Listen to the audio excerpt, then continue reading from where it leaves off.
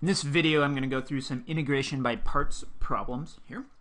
Um, first one we're going to look at is we're doing an integral of x times x minus 3 to the 7th dx. So what I'm going to do here is I want to split this up into like a product, which it already is, x times x minus 3 to the 7th. So what I'm going to do is I'm going to let my u, well, I'm going to do u is x because then du will be dx. And then dv, I'm going to let be x minus 3 to the 7th dx. So when I integrate this x minus 3 to the 7th, um, this is going to get a little more complicated, but because we got a nicer sort of du, that might be okay. So when I integrate, this is going to give me x minus 3 to the 8th over 8. And then my integration by parts formula says I take u times v, it's x times x minus 3 to the 8th over 8, minus, let me just write this up, it's the, whoops, sorry, no integral. Formula is that the integral of u dv is uv minus the integral v du. So we had u dv. So this is our uv, and then we want to subtract the integral of v, x minus 3 to the 8th over 8, and then du is dx. Now we need just to evaluate these. We have x times x minus 3 to the 8th over 8 minus, I can sort of factor out that 1 8th, and then I'm going to integrate x minus 3 to the 8th. That's x minus 3 to the 9th over 9, and then I get a plus c. So altogether, I might write this as x times x minus 3 to the 8th over 8 minus x minus 3 to the 9th over 72 plus c. If you wanted to simplify that sum, I'm going to notice I have a factor of x minus 3 to the 8th in both of these terms. So I could factor that out and say I get x minus 3 to the 8th. Um, I can factor an 8 out of the denominators. So it's going to leave me with just x here and minus x minus 3 over a 9 plus c. So let's see what this gives me. x minus 3 to the 8th over 8. And then we have x minus x um, over 9. Uh, let's how about factor out that 9? So let's do it 72. That'll make this 9x over 9, so I'll get 9x minus x. And then minus the negative 3b plus 3. So in the end, I guess you could write this as x minus 3 to the 8th over 72 multiplied by 8x plus 3 plus c. So generally when I teach a course, you could stop as soon as you get sort of any of these forms here. Um, so maybe this is what I would accept. 8 times 9 might actually be okay. Point is to get something that's actually the right answer here. Um, but sometimes you'll see answers like this or in certain other forms as well. Next one, um, sort of a classic integration by parts question. We're going to integrate x times e to the x. So I'm going to let u be x and dv be e to the x dx. And then du, the derivative of x is 1, so it kind of gets simpler here. So we get du is dx. v, when we integrate e to the x, we get e to the x. And so our integral, just carry that through, we get u times v, x times e to the x, minus the integral of v du, so that's e to the x dx. So this gives me x e to the x minus the antiderivative of e to the x is e to the x plus c. So there you go.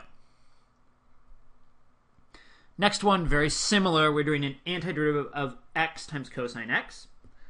Um, often when it's x times some, well, e to the x or trig function, I let u equal x. And then dv be cosine x dx. Then du is dx. v, I integrate cosine x. I'm going to get a positive sine x. I always tend to think the derivative of sine x is positive cosine x, so it's a positive sine x here. And so what I get, let's say uv is x sine x minus the antiderivative of v du. That's sine x dx. So we end up with x sine x.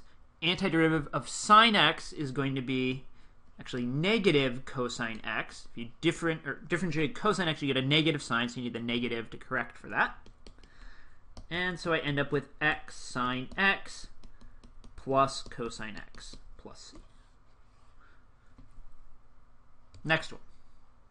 Same kind of idea again. it looks like x times natural log x. But this one we run into a problem. So you do u equals x, you do dv natural log x dx, looks very similar. du is dx, but then v is the antiderivative of natural log x. Um, that I don't know a formula. You might be thinking 1 over, well, actually do know a formula, but it's not a common one. Um, the antiderivative of natural log x, you might be thinking 1 over x, but that's the derivative. So we don't have a nice antiderivative here, so we're not real sure what to do. Um, probably the right thing to do is forget this u dv and try something else. So instead, what I'm going to do is let u be natural log of x, and then let dv be x dx. And the nice thing that happens here is the derivative of natural log x is really 1 over x dx. So we get sort of something that'll divide out x's, so we're going to get a polynomial over here. Those will actually sort of combine nicely. Um, x we need to integrate is x squared over 2. We get a little bigger exponent, but that's going to be okay. So we're going to get u times v. That's x squared over 2 natural log x. I guess I wrote v times u. Minus the integral of v du. So that's x squared over 2 times, whoops, 1 over x dx. So I have x squared over 2 natural log x, and then x squared over x is just x. I can pull out the 2 as a half. We're going to integrate just x dx. End up with x squared over 2 natural log x minus 1 half times x squared over 2 plus c. So we get x squared over 2 natural log x minus x squared over 4 plus c. Next one. Uh, we've got x squared times x minus 3 to the 7th. So this one is very similar to the first question, which I believe was just x times x minus 3 to the 7th, or something similar to that. Um, I'm going to take a very similar approach. I'm going to let u equal x squared, and dv be x minus 3 to the 7th dx. Then du is 2x dx. And v, when I integrate x minus 3 to the 7th, I get x minus 3 to the 8th over 8. And so what I get, let's see, I get u times v, which is x squared times x minus 3 to the 8th over 8, minus v du. So it's going to be, or integral v du. So I'm going to get an x minus 3 to the 8th over 8 times 2x dx. I put this all together. I have x squared times x minus 3 to the 8th over 8. The 2 and the 8 sort of cancel to give me a minus 1 fourth. And I have essentially x times x minus 3 to the 8th dx. Now, this would be sort of close to being done if we could find an antiderivative of x times x minus 3 to the 8th. To do that, though, I'm going to end up using integration by parts again. So I had an x squared, an exponent of 2. Now, x is really exponent of 1. My degree is shrinking here, so I suspect I do this again, and I'll probably be done here. So let's try it. So we'll do u is x. dv is x minus 3 to the 8th dx. Then du is dx. v, integrate x minus 3 to the 8th, is x minus 3 to the 9th over 9. And then this I can put together. I want to do my uv over here. Oh, whoops, sorry. That's just for this antiderivative. I have to keep all this original stuff as well. So I have my x squared, x minus 3 to the 8th over 8, minus 1 fourth, and then I can put in like brackets or parentheses here. Um, my integration by parts formula, u times v, that's x times x minus 3 to the 9th over 9, minus the integral of v du. That's x minus 3 to the ninth over 9 dx. So what I get is x squared times x minus 3 to the 8th over 8 minus 1 fourth. I have x times x minus 3 to the 9th over 9. And this antiderivative is going to give me a 1 ninth times, let's see, I do an x minus 3 to the 9th, integrate that to x minus 3 to the 10th over 10 do this and put a plus c there. And so when I'm done, what I get is x squared times, actually let's scroll down a bit, a little more space. Um, so I'm going to sort of distribute the minus 1 fourth essentially. I'm going to get x squared times x minus 3 to the 8th over 8 minus x times x minus 3 to the ninth. 4 times 9 is 36. And then minus 1 fourth, so that's going to be a plus. 9 times 10 is 90 times 4 is 360. I get an x minus 3 to the 10th plus c. And I've got a tendency to just leave this here. You could factor out an x minus 3 to the 8th, do something with your denominators. You might be able to simplify this down a little bit, write in different form. But we got an antiderivative, um, sort of the point of the question.